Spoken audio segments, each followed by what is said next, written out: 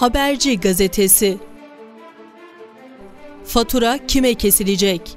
Mersin Su ve Kanalizasyon İdaresi MESKİ Genel Kurulu'nda konuşan Başkan Kocamaz, bütçedeki 50 milyon liralık açığa dikkat çekti. Su fiyatlarını yeniden yapılandırabilecekleri sinyalini verdi.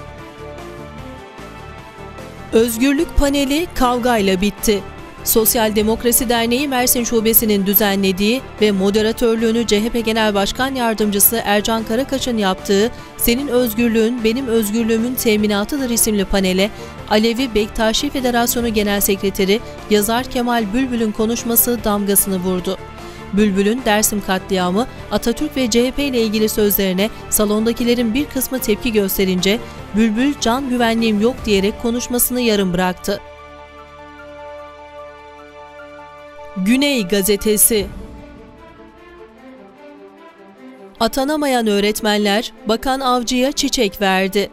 Mersin'de Milli Eğitim Bakanı Nabi Avcı'ya 24 Kasım Öğretmenler Günü öncesi atanamayan öğretmen adayları tarafından çiçek verildi.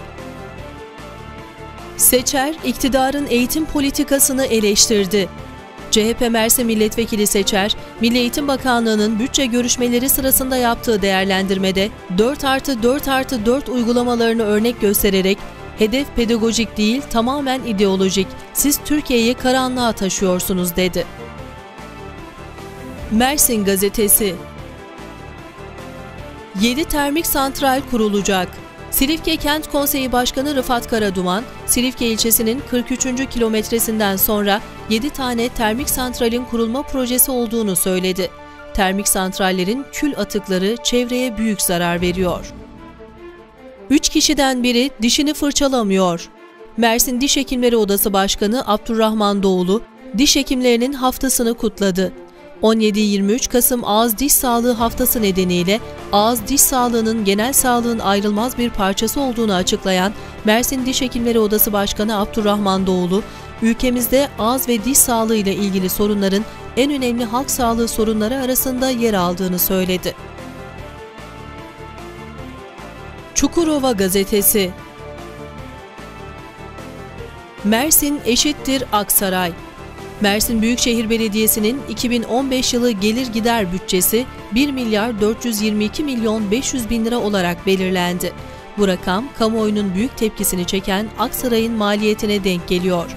Yatırımları durdurulan, ulaşım sorunu çözülemeyen Mersin'e düşen bu bütçe, ülkedeki hizmet dağılım eşitsizliğini de ortaya koyuyor.